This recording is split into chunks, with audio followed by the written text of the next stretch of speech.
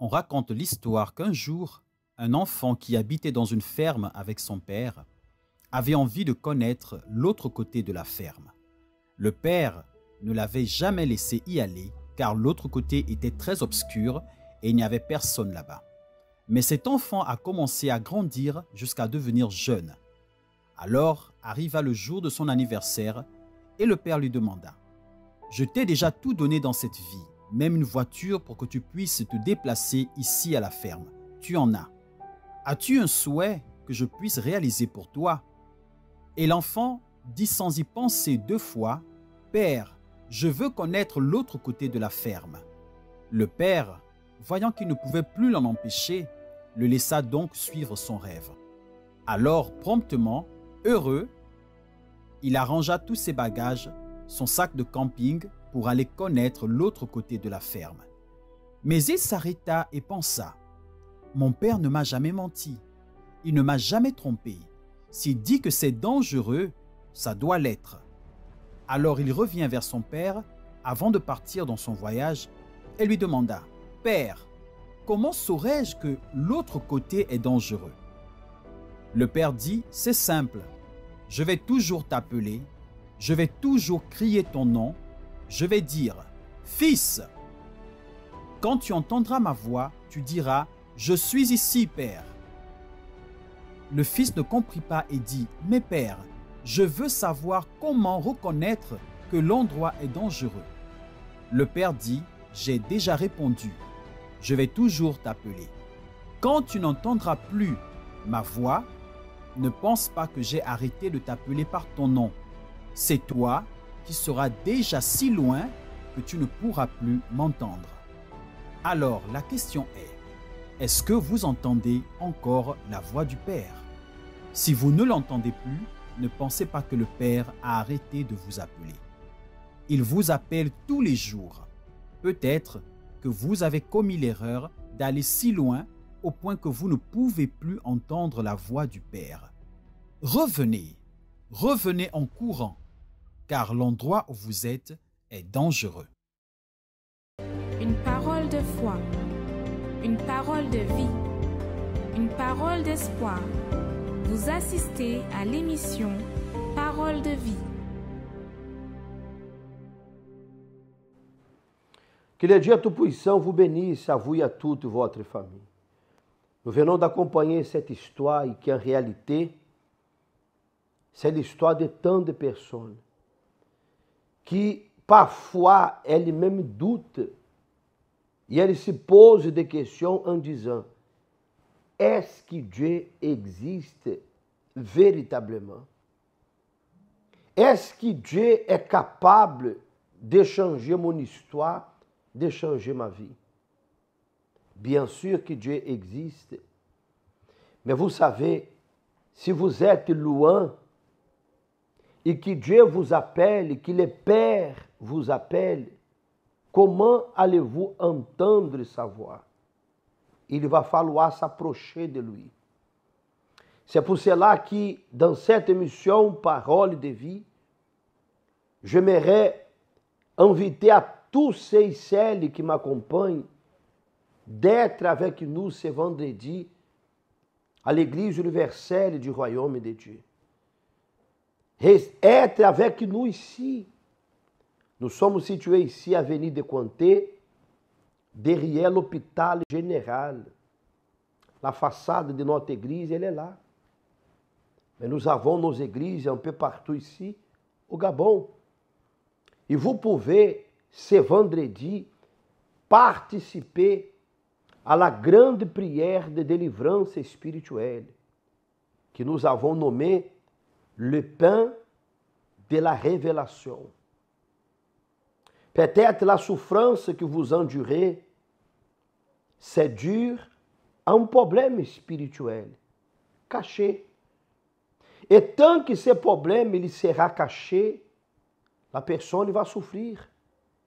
Peut-être vous avez déjà cherché le côté mystique, vous avez déjà crié à l'aide et vous n'avez pas été encore répondu. Peut-être vous avez déjà demandé conseil à quelqu'un de la famille un proche, un collègue de travail.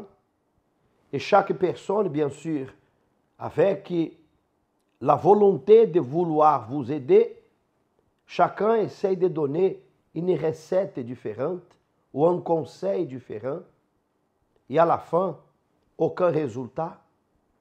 Et je voulais lancer un défi avec vous, vous qui me regardez, vous qui ne dormez pas pendant la nuit, vous qui vivez une vie de tourment, une vie divisée, une vie si compliquée, je voulais vous inviter à être avec nous ce vendredi.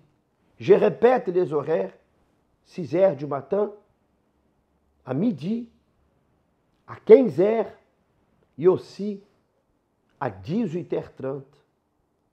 Vous avez besoin d'un conseil, vous avez besoin de parler avec nous, nous nous serons à votre disposition. Nous nous serons ici pour pouvoir vous montrer que l'époque de la délivrance, elle est toujours actuelle et que Dieu est capable de vous délivrer de n'importe quel problème que vous vivez dans votre vie, le problème spirituel. Je répète, hein, vous avez besoin d'aide, d'un conseil. Il y aura une équipe de pasteurs qui seront ici prêts toute la journée, du matin jusqu'au soir, pour vous recevoir, pour prier pour vous et pour vous montrer qu'il y a toujours une solution à votre problème. Vous allez acompanhar une petite vidéo qui parle l'histoire de Jésus, au moment qu'il était à table avec Judas et qu'il a donné à Judas le, pain qui était un peu mouillé dans le jus de raisin, dans le vin à l'époque, bien sûr, et qu'il a donné à Judas. Et Judas, en ce moment qu'il a mangé, a été révélé le problème qui était en lui. Et ce vendredi, nous allons faire la même chose. Afin que le mal soit révélé, une fois qu'il sera révélé, alors vous serez délivré de cette situation. Acompanhez.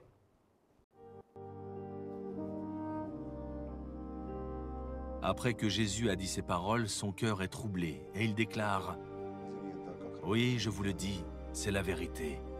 L'un de vous va me livrer. » Les disciples se regardent les uns les autres, ils ne savent pas de qui Jésus veut parler. L'un des disciples, celui que Jésus aime, est assis à côté de Jésus. Simon-Pierre fait un geste pour dire à ce disciple « Demande à Jésus de qui il parle. » Alors le disciple se penche vers Jésus et il lui demande « Seigneur, qui est-ce? Jésus lui répond, Je vais tremper dans le plat un morceau de pain. Celui à qui je vais donner le morceau, c'est lui qui va me livrer.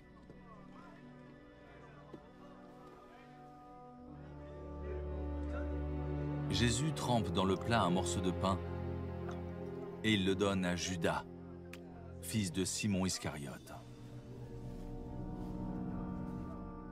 Judas le prend, et aussitôt Satan entre en lui.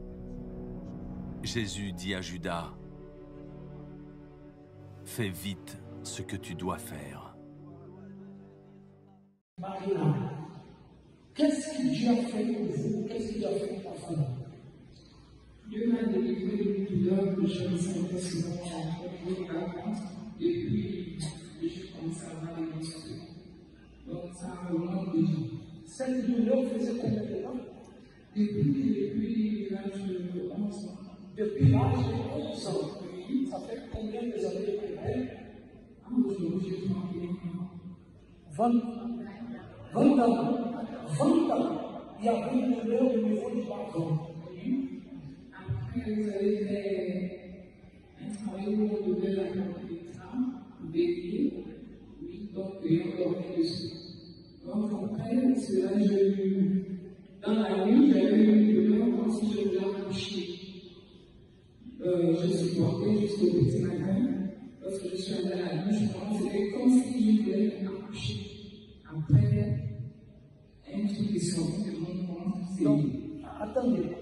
avez fait un travail où on devait la des bélier. Oui, donc, il y a encore dessus. Donc après cela, j'ai eu, dans la nuit, j'avais eu une douleur comme si je voulais accoucher. Euh, je suis portée jusqu'au petit matin, parce que je suis allée à la nuit, je pense que c'était comme si je voulais accoucher. Après, un truc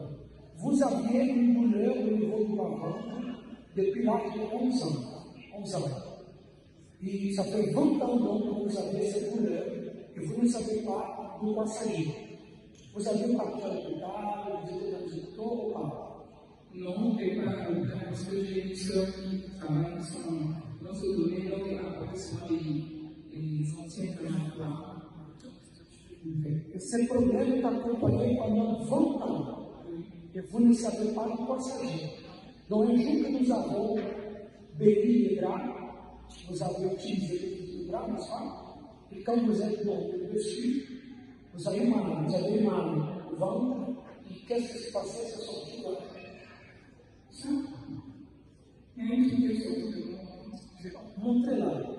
soeur qui travaille dans, son, Regarde-se aqui a sorte dela.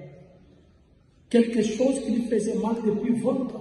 E depois que se lá a sorte virtual, como são? Né? Se a sorte vai ficar comentando,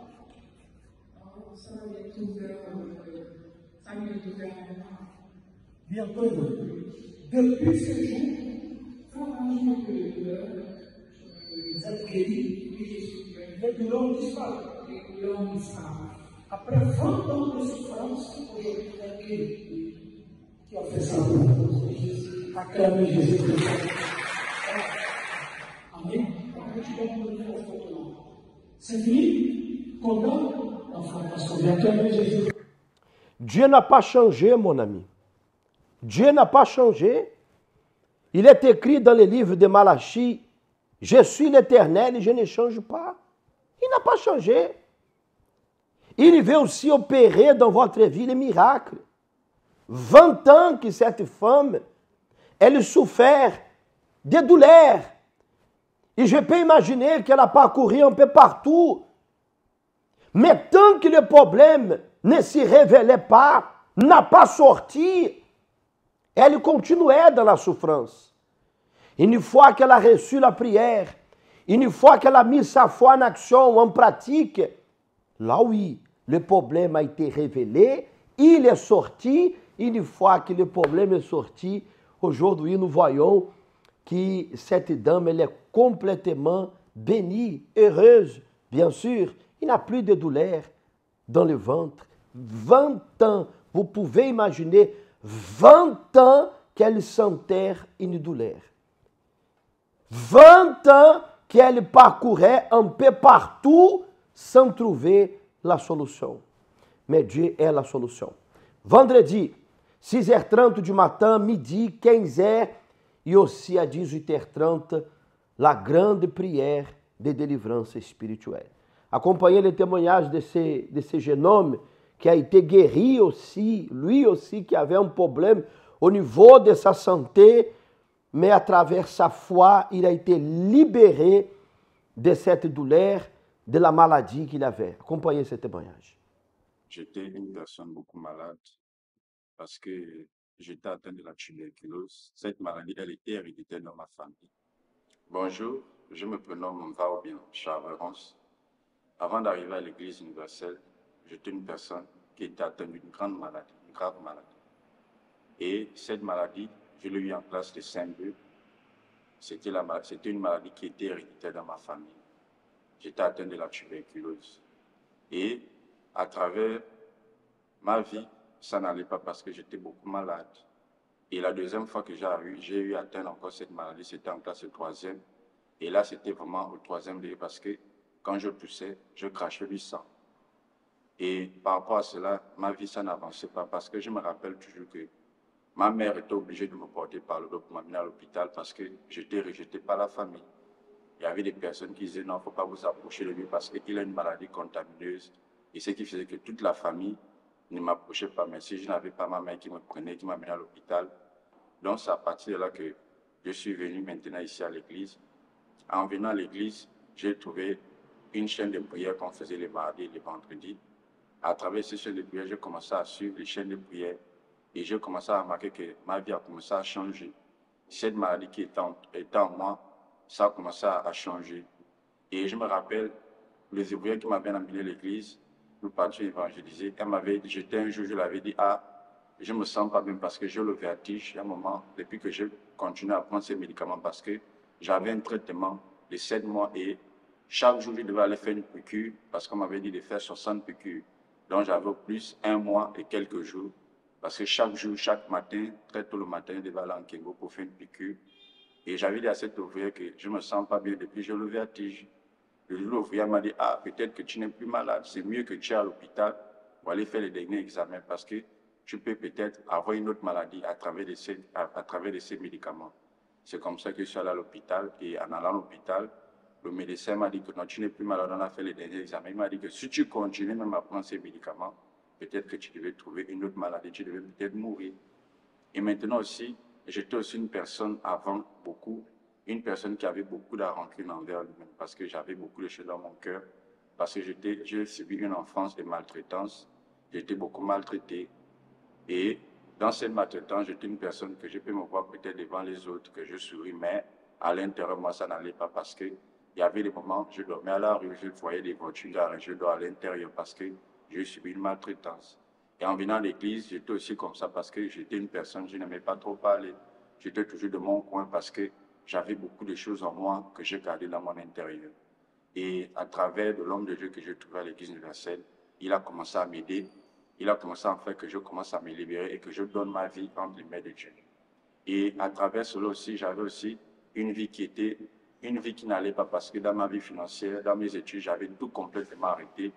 Et c'est à travers d'une campagne d'Israël, j'ai pris la décision de déposer le tout sur l'autel de Dieu. Et quand j'ai déposé sur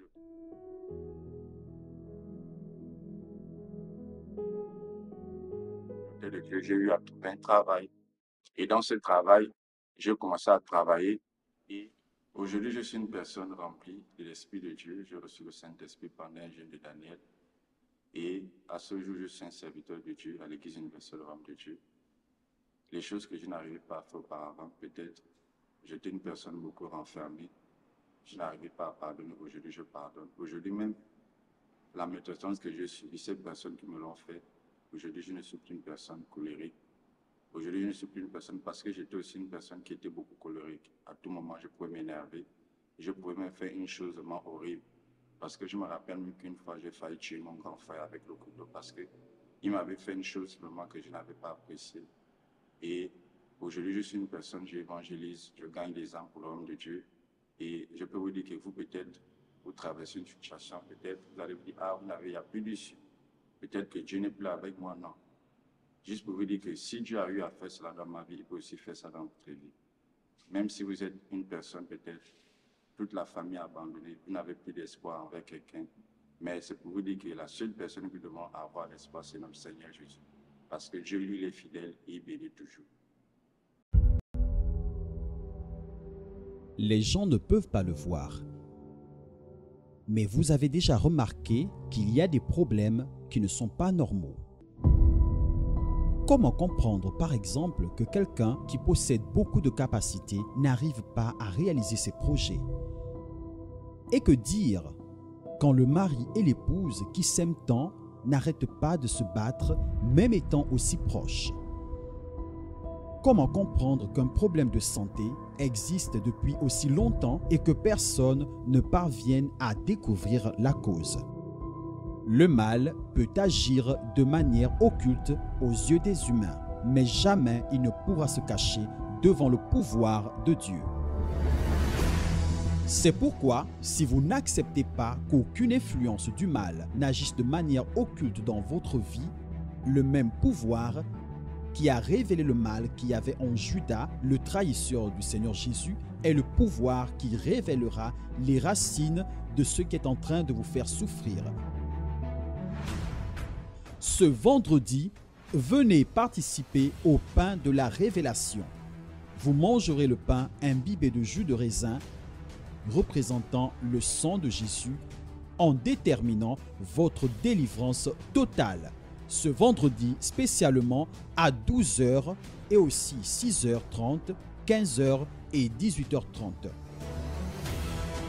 à l'église universelle du Royaume de Dieu située au rond-point de l'avenue de Cointet derrière l'hôpital général. Ce vendredi sera un vendredi de délivrance spirituelle. Je vous invite, et je n'invite pas ici ceux qui ont une religion et ceux qui n'ont pas une religion. L'invitation est à tous ceux qui veulent être délivrés. L'invitation, c'est à vous, mon ami. Vous qui ne supportez plus. Vous qui êtes arrivé déjà au bout de vos souffrances. C'est vendredi, la grande prière de délivrance spirituelle. Si vous avez la condition, prenez un verre d'eau, une bouteille d'eau. Nous allons parler avec Dieu.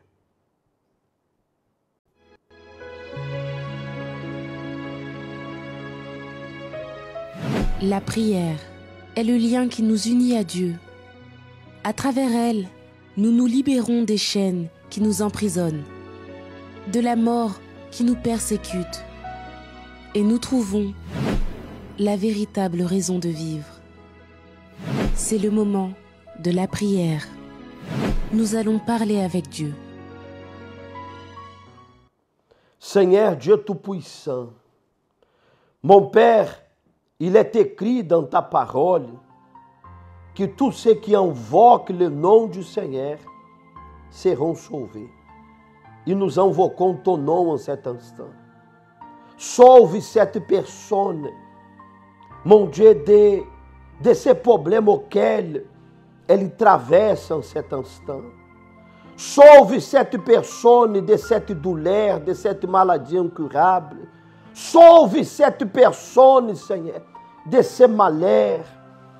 Mon Dieu, de toutes sortes d'oppression, de dépression. Enlève, Seigneur, le poids de la souffrance qui se trouve dans la vie de cet homme et cette femme. Envoie tes anges, visite, oh Dieu, ceux celles qui se trouvent à l'hôpital, dans une prison. Seigneur, et lorsque je parle d'une prison, il ne, s'agit pas d'une prison physique seulement, mais peut-être une prison spirituelle, Seigneur. Des personnes qui sont prisonnières d'un cauchemar, d'une jalousie, d'une malédiction, de la poisse. Mais que ces personnes soient délivrées en cet instant. Soyez bénis. Recevez la bénédiction pour vous et pour toute votre famille. Recevez la force de Dieu, la joie, la paix. Dieu est avec vous et il va vous aider à sortir de cette situation difficile que vous, que vous traversez en ce moment. Recevez la victoire, recevez la vie, recevez la paix. Mon Dieu, que le verre la bouteille d'eau soit sanctifiée, consacrée. Et lorsque cette personne boira un peu de cette eau, qu'elle soit bénie au nom du Seigneur Jésus. Amém e graça a Dieu. Dieu est avec vous, mon ami. Le Seigneur, Dieu Tout-Puissant, il est avec vous là où vous êtes en cet instant. Recevez la force de Dieu. E ne manquez pas ce vendredi la grande prière spéciale que nous aurons pour la délivrance spirituelle. Nous terminons ici notre participation. Vous allez voir ce qui se passe chaque dimanche ici à l'Église universelle du Royaume de Dieu. Dieu vous bénisse. Au revoir. commence à toucher dans le sang de cette personne, que son sang soit purifié, que son sang soit purifié, que le miracle s'opère dans sa santé, que le miracle s'opère dans son sang, que le miracle s'opère dans son ventre, Seigneur. Cette femme qui était stérile, en passant ce matin sur cet hôtel, que la fécondité soit, que la fécondité soit, la stérilité disparaît, les blômes disparaissent, les chlamydia disparaissent, la douleur disparaît, l'abcès disparaît. Seigneur, la masse qu'elle sentait au niveau du bas-ventre disparaît ce matin et que son corps soit purifié, que la fécondité soit, que la fécondité soit. Mon Dieu touche son corps ce matin. Oui, dans son travail, sa vie professionnelle, cette personne qui n'a jamais eu de promotion, mais elle se bat, elle fait des efforts, et malgré les efforts, elle n'a jamais été promue, elle n'a jamais eu des avantages, elle n'a jamais eu des opportunités. Mon Dieu, souviens-toi, souviens-toi, mon Père, de cet homme, de cette femme. Mon Dieu, souviens-toi de sa détermination, de sa révolte. Elle passe ce matin par l'hôtel et elle crie à toi, elle clame à toi. Oui, c'est toi qu'elle invoque parce que tu es capable de faire l'impossible, devenir possible. Par rapport à ce que tu es en train de faire pour cette année, je peux dire encore que je suis béni par rapport à ma fidélité. Et c'est parce que je suis en train de gagner des projets où je suis sollicité. Même après l'église aujourd'hui, à 11h, j'ai rendez-vous avec une société qui vient d'arriver pour euh, un projet au Gabon où je suis invité pour une réunion.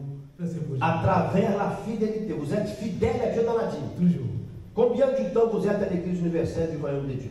Euh, la première fois que je suis arrivé à l'église de Bessé, c'était le 25 décembre 2001. Donc aujourd'hui, j'ai 22 ans par là. Parce que ce que je suis aujourd'hui, 10 ans passés, 15 ans passés, je ne pouvais pas. Peut-être, bon, ceux qui vivent avec moi connaissent moi.